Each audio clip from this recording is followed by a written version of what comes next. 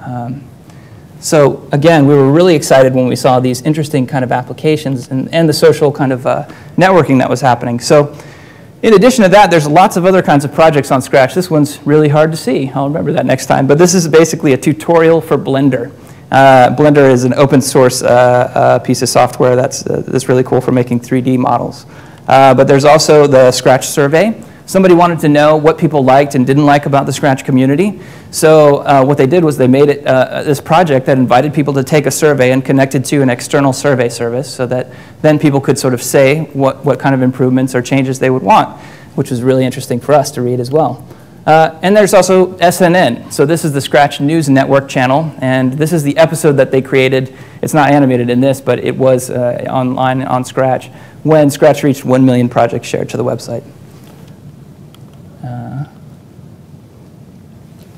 So in the, in the course of researching how kids um, use Scratch and, and what they get out of it, we've found a lot of really interesting quotes that, that we think kind of typify what we were hoping would happen with this tool. So this is a 13-year-old girl who's saying that she likes Scratch better because there's an opportunity to create stuff, right? You're not just kind of like chatting with your friends or, or sort of being passive and absorbing the different information. You can make your own kind of uh, creative expression, and, and she found that to be really empowering, and we found it to be validating. Uh, there's also an 11 year old boy who says that he loves Scratch because it taught him how to have a programmer's mind. And this is one of the things that we really wanted to see with Scratch, is we wanted to see if we could, we could help kids sort of learn to think systematically, think like a programmer. It's not that we want everybody who uses Scratch to then grow up to be uh, you know, an operating system designer or even an open source contributor, although I hope there's some of those. Um, but I think it is important that people learn how to think this way because all around their environment, they're surrounded by um, systematic computational artifacts. Like you go to the grocery store, well, those doors just slide open magically. How does that work? Well, there's a sensor and there's a program, and I think it's important that people have a good sense of how those things work, uh, even if they're not designing them, just because it's good to be literate.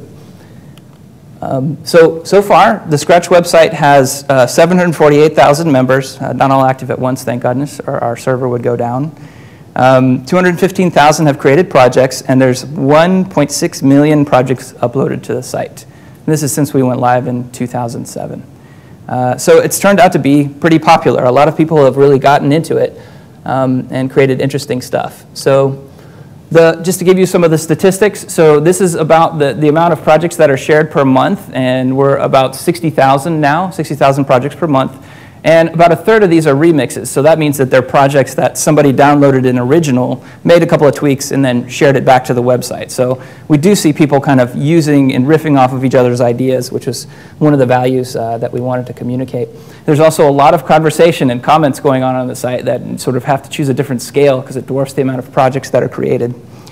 Um, the main people using Scratch, uh, age-wise, are like between the ages of like 9 and 15 is kind of the major part of the curve right there. But as you can see, we have a really long tail. There's some geezers like me down there, and some even older, somebody 69, I guess, and probably goes further than that, but that's all we could show in the graph. Um, so uh, who is creating these projects? Well, it was really important to us that girls felt empowered to program.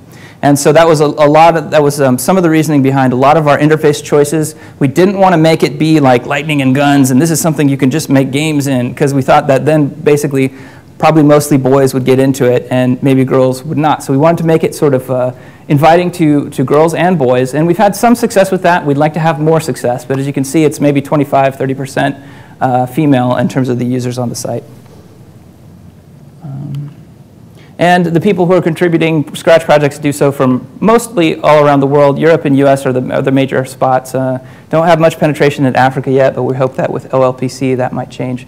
So since so many people are using this, we decided we would create um, Scratch Day. And Scratch Day is a worldwide event, and it happens on May 21st uh, this year in 2011.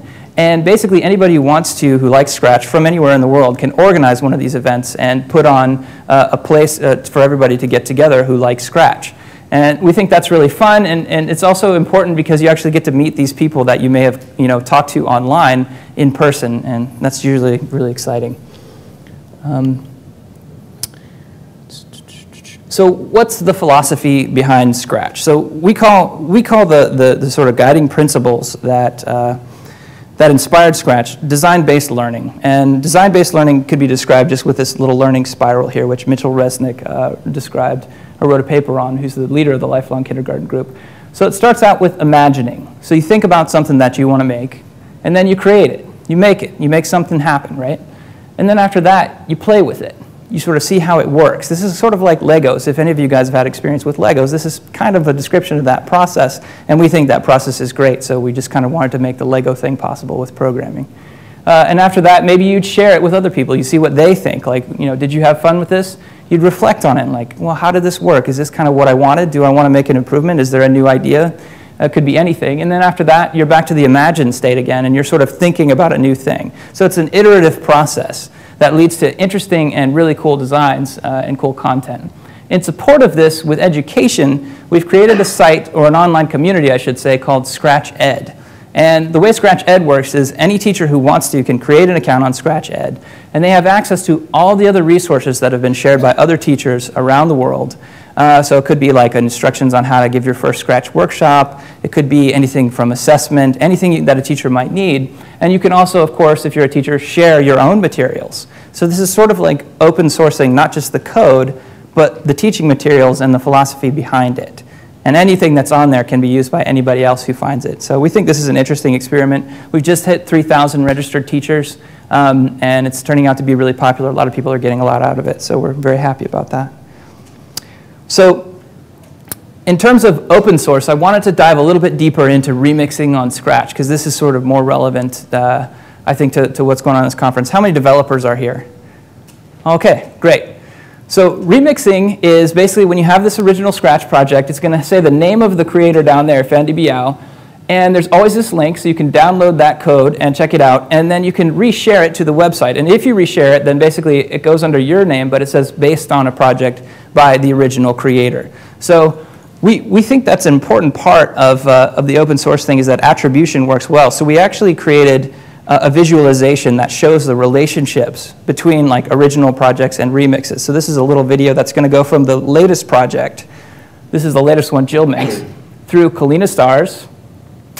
And so this is a different version of Tetris with cherries. And here's Tetris with this little Linksy cub. It's sort of hard to see because it's so big. Uh, there's a Tetris that got removed. And we're almost to the original first one. This is the, the one that split off to hundreds of generations. And now we're back down to the original Tetris. So we see that people have these networks of relationships where they're reusing code and reusing each other's ideas, which I think is an important value of open source.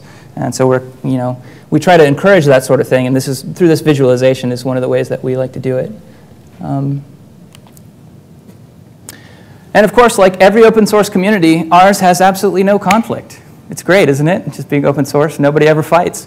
Well, that's not quite entirely true. So this is a conflict that we do see um, fairly often on the site, um, and it's, it's about remixing. Says, I choose friends, I just got mad because you remixed some of my projects and didn't give me credit at first. So credit turns out to be really important in the Scratch kind of ecosystem. And we thought that when we added the automatic credit giving, that kids would be cool with that. Oh, cool, it automatically gives me credit. But what we found out, um, and most of this is through research by Andres Monroy Hernandez, who is the lead developer of the Scratch website and a PhD candidate, is that people um, don't accept automatic attribution. It, it doesn't count as much as manual attribution. Like when you actually take the time to write in your project notes, this is an idea based on an idea by somebody else, then the original creator will be more accepting to it.